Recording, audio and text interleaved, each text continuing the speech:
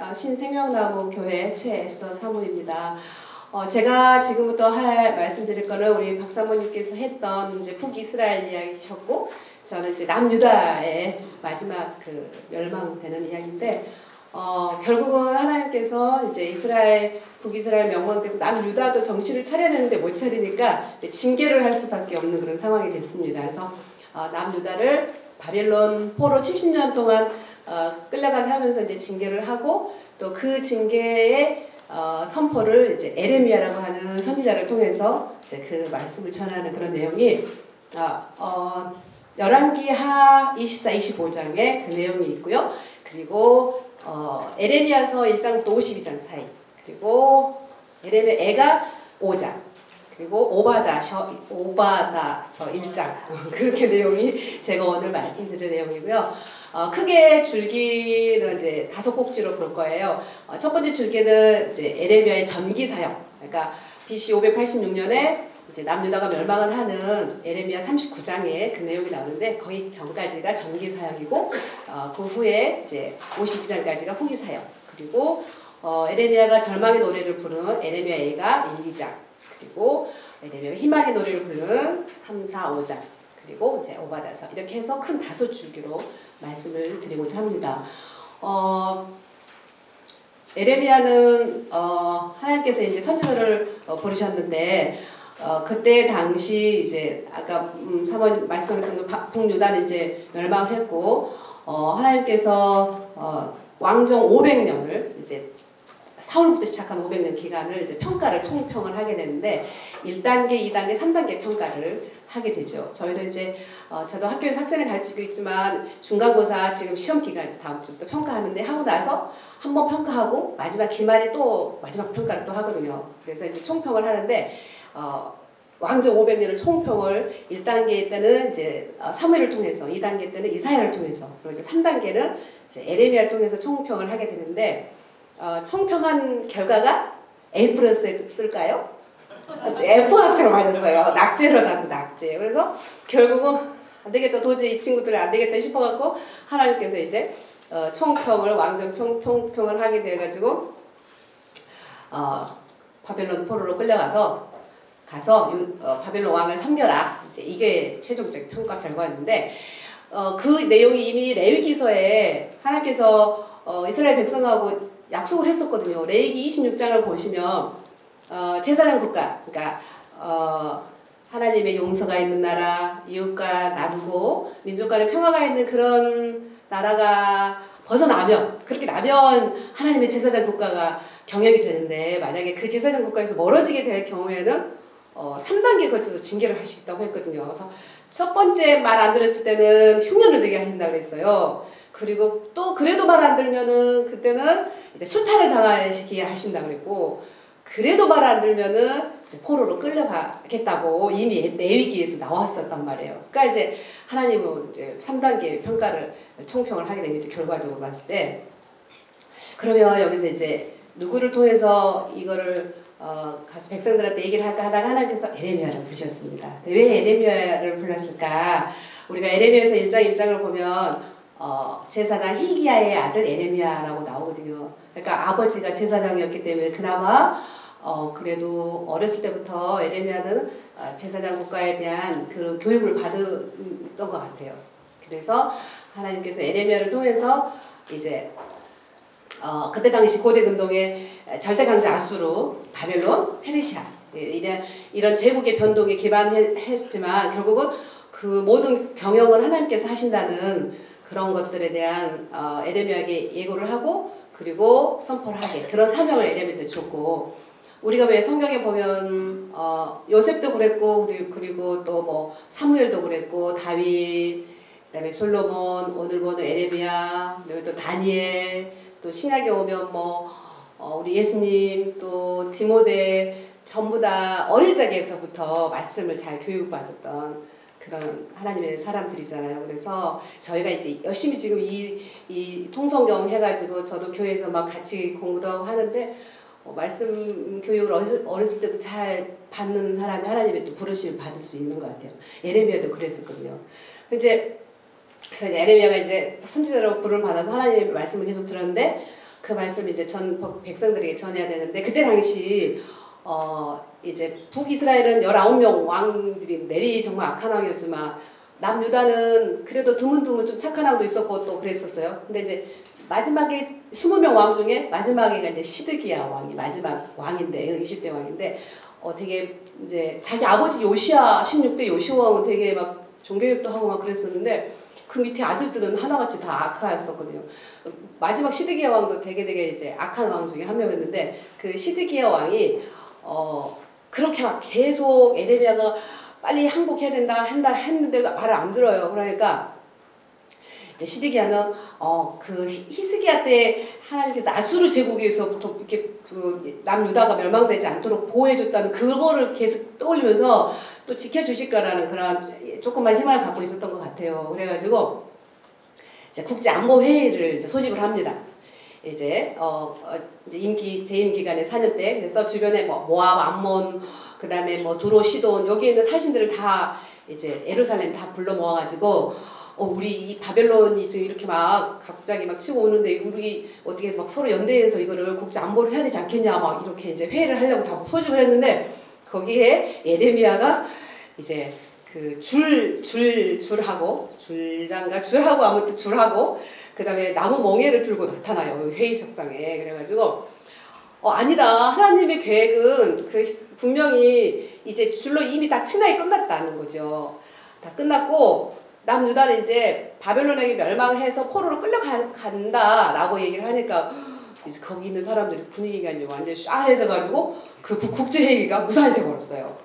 그러니까 이제 에렘이 얼마나 미움을 받았을 것 같아요. 근데 이제 그러다가 또 한참 지나가지고 이제 바벨론이 이제 점점 에루살렘에 이제 와가지고 막 이제 포로로 끌려갔는데 세 번, 3차에 포로로 끌려갔는데 이제 1차 포로 때 그 다니엘과 세 친구 그러니까 그 청, 청소년들 영특가 왕족에 있는 걔네들 끌려갔어요. 1차 포로 때. 그때까지만 해도 사람들은 뭐 그러나 보다라고 심각성 못 깨달았어요. 근데 어, 두 번째 2차 포로 때는 이제 에스겔 하고 어 그리고 막 그 기술공 만 명하고 막 성전에 있는 기명도 막 싹 다 가져가 본 거예요. 그러니까 이제 그때서 뭐, 뭐, 뭐 큰일 났겠다는 생각을 한 거예요. 그래가지고 이제 구국성회를 이룹니다. 이제 다시 한번 저 이제 모여가 이제 시대의 왕하고 거기 있는 제사장이랑 막 이런 남은 백성들이 다 이제 구국성회를 이제 열게 되죠. 이러면 안 되겠다. 막 나라를 위해서 우리가 빨리 어떻게 해보자 막 했는데 거기에 또 에레미야가 또 딱 나타나가지고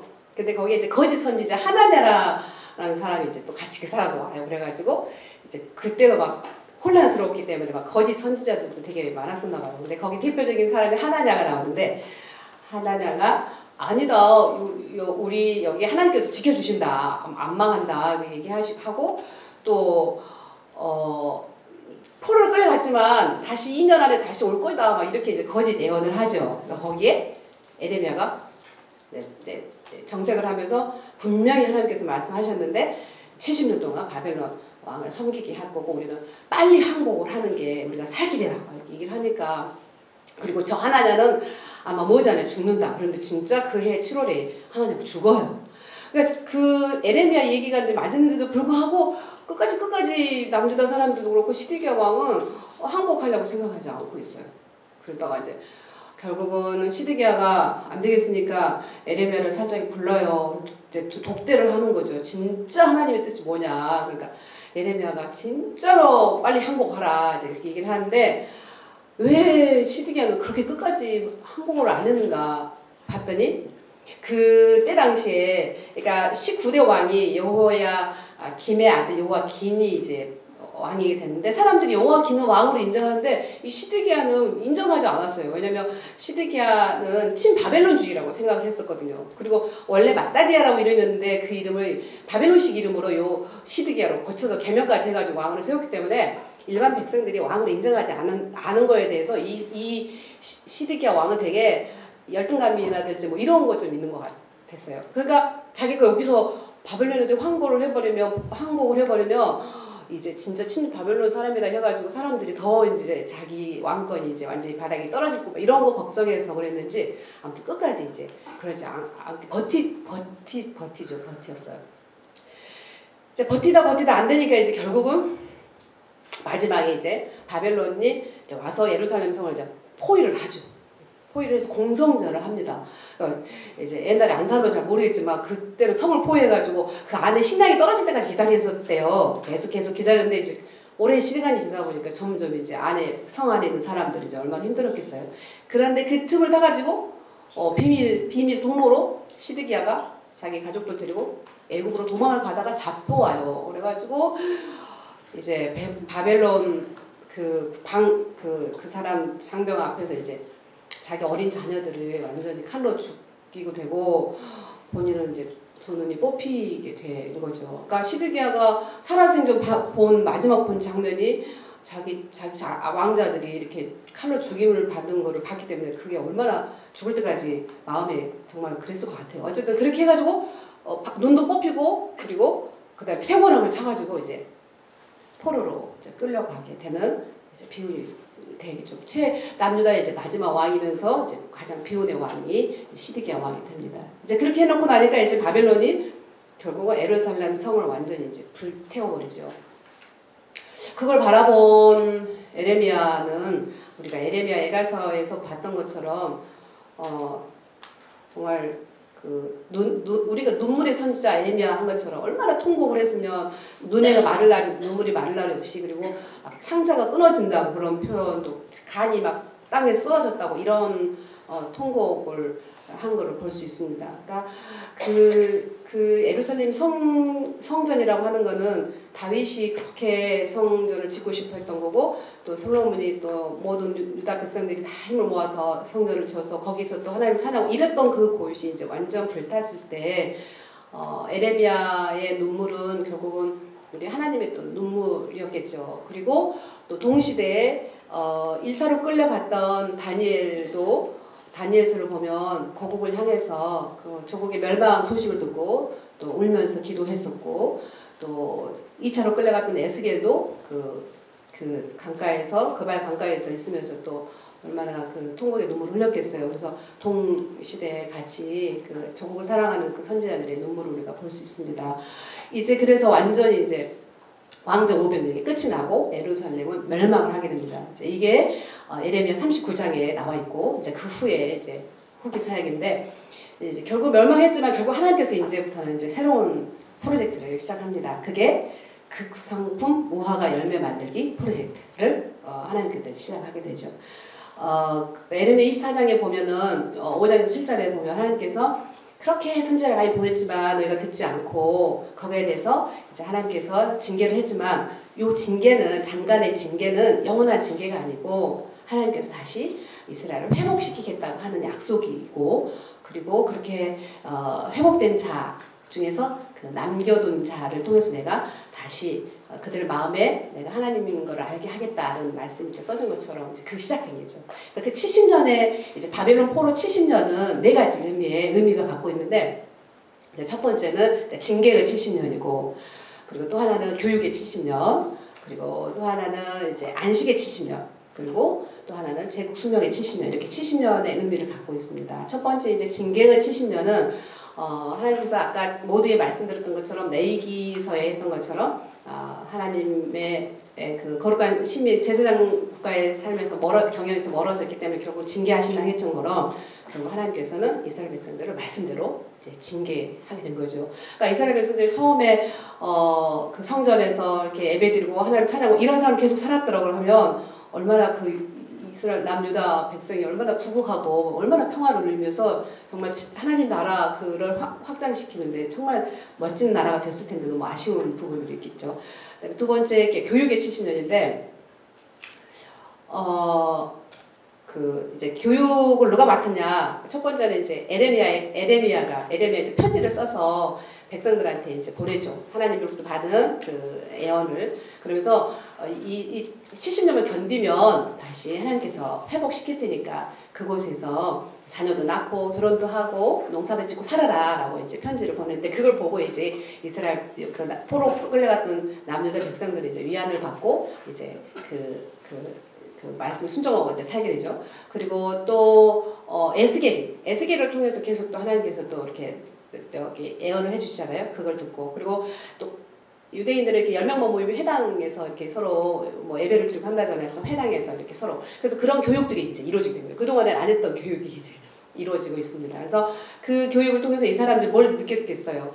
아 제사장 나라와 그다음에 그 현재 지금 바벨론 제국 있기 때문에 그러니까 제사장 나라와 제국의 그거를 몸소 이 사람들을 체험하게 된 거죠. 어 그래가지고 이제 그거를 통해서 아, 하나님께서 아, 우리 그 다니엘과 같은 다니엘과 세 친구 0.1%의 아주 최고의 엘리트 교육을 하게 되고 또 그때 받은 그 교육에 대해 교육받은 그 사람들이 어, 보통 그 사마리아는 막 혼혈 정책이 돼가지고 막 혼혈돼 있지만 그 남유다는 정말 순수한 그야말로 유다인, 유대인의 지금 현재 아주 전 세계적으로 유명한 그 탁월한 유대인들이 만들어지게 되는 그런 배경이 된 거죠. 그래서 그 교육을 통해서 어 뭐 다니엘이며 그다음에 그 후로 우리가 이제 나오는 뭐 느헤미야, 또 에스라, 그다음에 또 에스더 뭐 이런 뭐 이런 사람들이 이제 나오게 되는 그런 교육의 효과가 있었던 거죠.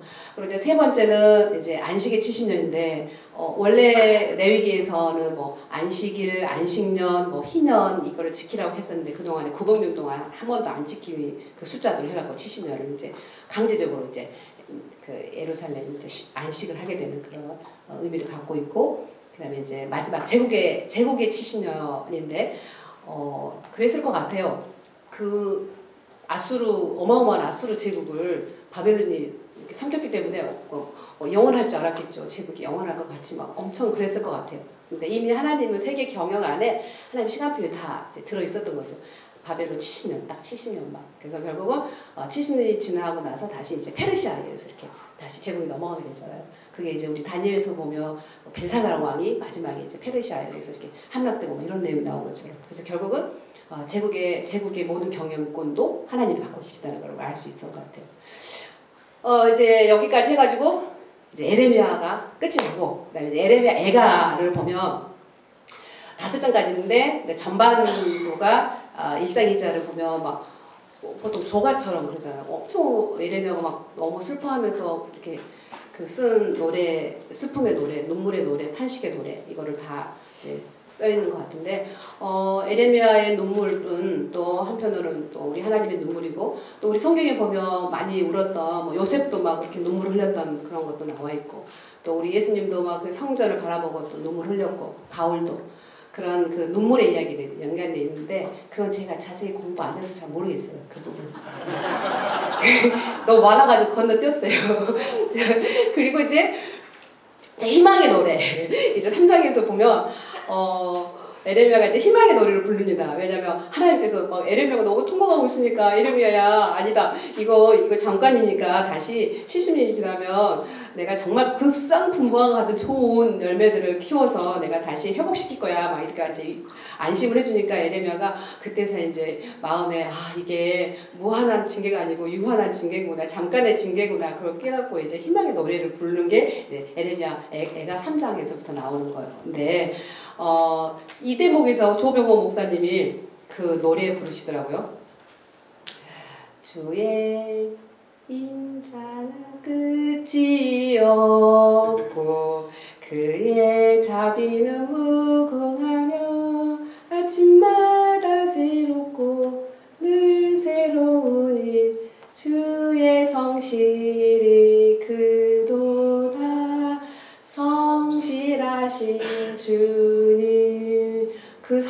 성실한 하나님의 그 인자하심을 에레미야가 깨닫고 그 절망 가운데 그, 그 희망의 노래를 부를 수 있었던 것 같아요. 네.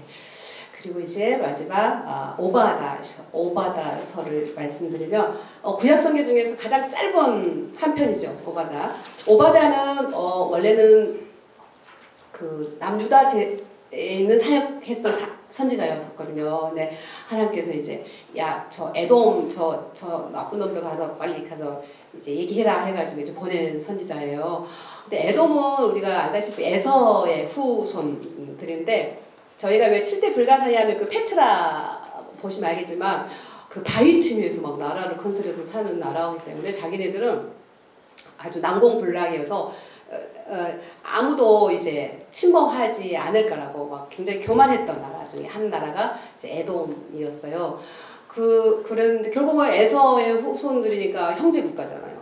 남유다하고는 형제 국가인데 어, 에돔은 어 그 남유다가 막 멸망하는데 막 좋아하고 막 박수치고 또 바벨론을 막 도와가지고 남유다가 멸망하는데 막 옆에서 막 같이 도와가지고 넘어 넘어지게 멸망하도록 도와주는 나라가 이제 에돔이었어요. 그러니까 하나님께서 안 되겠으니까 이제 오바댜 선지를 보내서 멸망 너희들 그렇게 했기 때문에 분명히 하나님께서 이제 너희들 멸망당할 것이다 하면서 애원하게 보내서 썼던 거가 이제 오바다 서죠.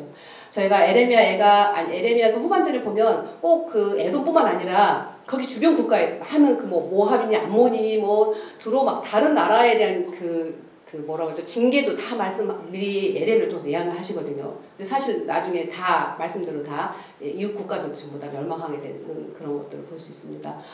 어 우리가 왜 그 순종이란 말을 저희가 이제 에레미야서를 어 읽는데 사실 막 가슴이 미어지는 거예요. 막 그 에레미야 막 마음이 막 답답해가지고 너무 힘들었어요. 에레미야 준비하면서 그런데 어 에레미야의 순종은 사실 어, 하나님께서 그 가장 어려운 나라가 멸망하는 그 그때 당시에 막 얼마나 매국노라고 치부를 당하면서 그래도 가서 하나님의 말씀을 전해야 되는 막 이런 상황이었기 때문에 에레미야 되게 힘들었을 것 같은데 우리가 성경에 보면은 어, 어, 뭐 노아의 노아도 노아의 순종으로 인해 가지고 구원의 방주를 통해서 또 백성들을 구원했고 그다음에 모세 한 사람의 순종, 그다음에 아브라함의 순종, 그리고 또 우리 에레미야의 순종을 통해서 뭐 어떤 거를 하나님께서 에레미야를 통해서 했냐면 이제 새 언약을 내가 그동안에 우상에 찌들었던 이런 남유다를 다 멸망시키고 이제 새 언약을 성취하겠다는 것을 봐서 이제 어, 얘기해라 했을 때 그 순종하고 했을 때 결국 그 새 언약은 이제 예수님이 이 땅에 오시 동식대 독생자 예수님이 이 땅에 오시겠다는 거. 그리고 사실 그 언약의 대로 또 예수님이 이 땅에 오셨고 그 예수님의 한 번의 순종으로 인해 가지고 순종으로 인해 가지고 저희가 이제 정말 하나님의 자녀가 되고 구원을 받는 그런 역사가 이제 이루어지게 되는 그런 내용들이 이루어집니다. 그래서 지금 이 시대도 또 그 순종의 한 사람들을 찾고 계시지 않는가라는 생각이 들고 어, 늘 음, 목사님 어, 그 이렇게 엔딩을 여러 번 계속 저도 그 통성경 백강도 듣고 막 책도 읽고 막 이랬는데 항상 끝마칠 때 그렇게 말씀하시더라고요. 어, 푸른 마르고 꽃은 시드나 하나님의 말씀은 영원히 있으리라. 성경 한 구절은 충분하, 충분하고 또 말씀으로 늘 승리하는 멋진 사모님 목사님 되시기 바라겠습니다. 고맙습니다.